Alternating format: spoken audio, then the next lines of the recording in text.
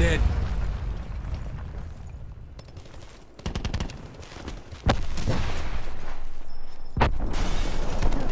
They're running out of lives. We're taking B. Crash kill.